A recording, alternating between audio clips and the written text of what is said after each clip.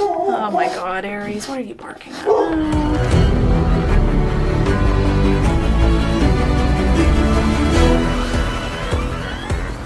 So now that I've got the shirt and the vest all sewn together, which I really don't know how this all came together as quickly as it did, I'm going to go ahead and start actually hammering in the holes to sew my suede lace through. So one of the things about working with suede or leather is that if you're going to use like this suede lace in it, you actually have to poke the holes into the suede itself before you can actually sew it because this is animal hide. I'm sure there's a proper word for it in actual sewing terminology, but basically you have to poke the hole before you can actually sew anything through it. And another thing I can point out is whenever you sew into it, it's always going to create like these little, um, like it's going to have little holes in it that aren't going to close back up and they can be a little bit obvious. Here on this like sleeve, let me see if I can get it closer. Whenever I was seam ripping the like sleeve cap out of there because I put it on wrong, you can still see some of the holes from whenever I sewed that on the sewing machine. I don't really mind. It's really not that noticeable unless I literally shove it in your face and if people are staring that hard at my armpits whenever I'm at a convention, then we've got bigger problems than that. So here are all the supplies that I've got in order to start poking holes into my suede. First, I've got my suede lace. I've got this like kind of brownish color here. This is 1 8th thickness. Also have a suede lace needle, and I'll show you how I thread that here in a moment. Also have this mini punch kit that I got from Tandy Leather. I will be using the 1 8th size here. And then last, I've got this mallet, and the mallet is going to be what I use to hit this thing to create the holes in my suede. And the last supply that you probably want to have is some type of cutting mat. And my cutting mat is a self-healing cutting mat. Basically, you just want something to be able to hammer into, like don't do this on top of like hardwood floor floor or anything like that because you will probably get little tiny holes in your hardwood floor if you do that. And all that you need to do in order to punch a hole in your suede is take your little punch here, hold it upright on your suede like this, go in with your hammer and just hammer it down. And you might need to twist it a little bit to get it out of there but there you go, you've got your little hole. And now you get to repeat it dozens, maybe hundreds of times on Aloy's outfit. So I'm not gonna waste any more time because I've got a lot of holes to punch out on this suede top here. For now, I'm really just concentrating on the bottom seam of the outfit. I'm going to get all of those holes punched in so that whenever I have free time, I can hopefully sit down and just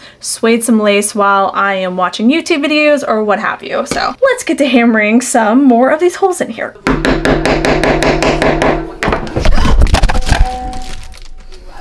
Is everything okay? Oh my god, as I was hammering, I just knocked the camera off of the table. Everything's fine. Everything's fine. So that actually only took about 15 minutes to punch all the holes around the bottom seam here. Unfortunately, this mat that I'm using is not self-healing as I thought. Actually, now that I think about it, I think it was 15 bucks off Amazon, so no wonder it's not self-healing. But anyways, I got everything, you know, punched out here.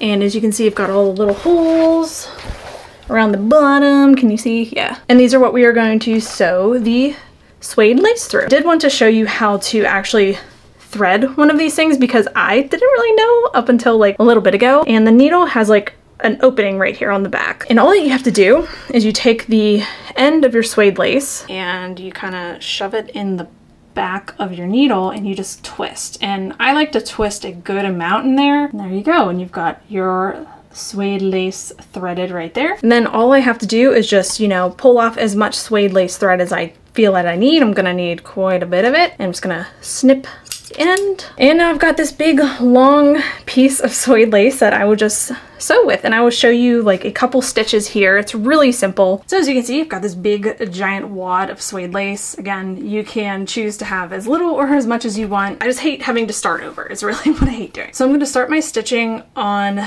like the side underneath the armpit just because I always find that that's like one of the better places to start. And I just thread it through the back. We're gonna pull all this suede lace through. Okay, that wasn't so bad. We're just gonna knot it. And if you're a better person at knotting than I am, you will not waste that right there. And there you go. So I'm just gonna leave the knot like that until I finish sewing the rest of these pieces because at the end, whenever I finish this, I will just end up like using some leather glue and cutting this little tail off of there. So I'm gonna take my needle and go right under here. Oh my god, Aries, what are you barking at? Oh. oh Jesus Christ. And then just pull the lace through.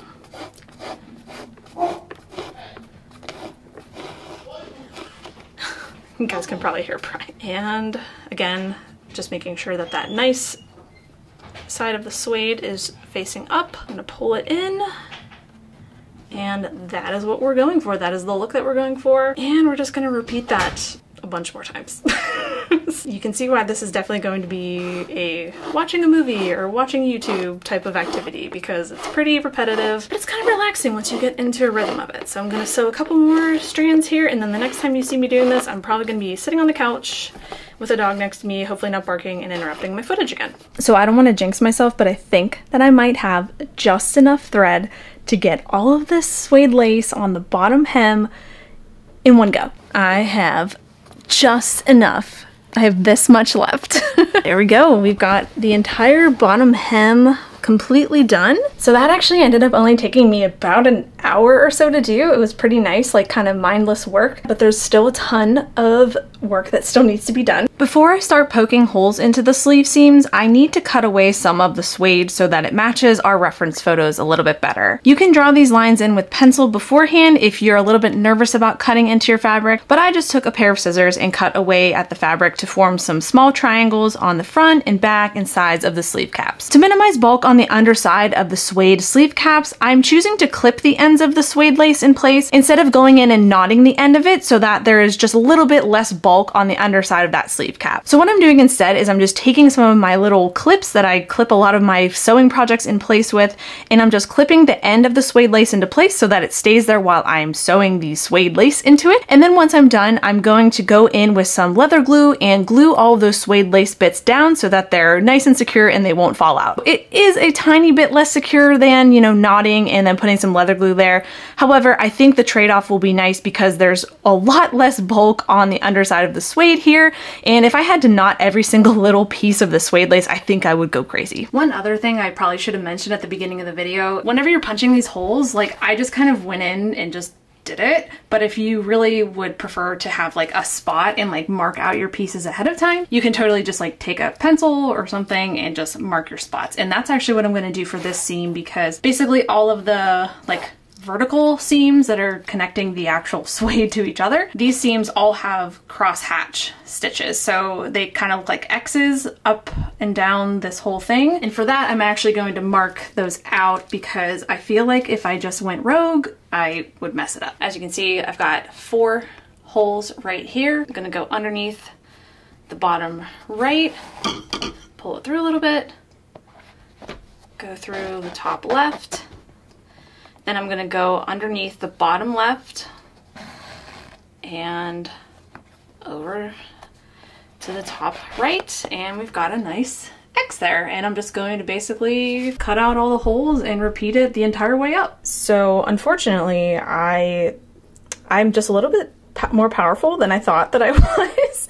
I ended up busting the tip to my uh, little hole punch here. I ordered one that is basically all metal, so hopefully this won't happen again, but that's why I kind of pivoted and did all this embroidery here on the sleeves. Only took me about like maybe a half an hour to do while I was watching some YouTube videos, and it came out really nice in my opinion, because this is supposed to look pretty hand sewn and pretty, you know, like not uniform. So I had a lot of fun doing it. Only took me about like maybe a half an hour to do while I was watching some YouTube videos and it came out really nice in my opinion because this is supposed to look pretty hand sewn and pretty, you know, like not uniform. So I had a lot of fun doing it. It was like five millimeter embroidery thread that I used, which, you know, it's double looped. So it really kind of gives it that that look of just a lot of stitches there, which I'm really happy with that. And then I guess this shirt is finished. Wanted to have this shirt done as well as the vest done before we head out to London next week, but hopefully that other punch comes in soon so I can get back to doing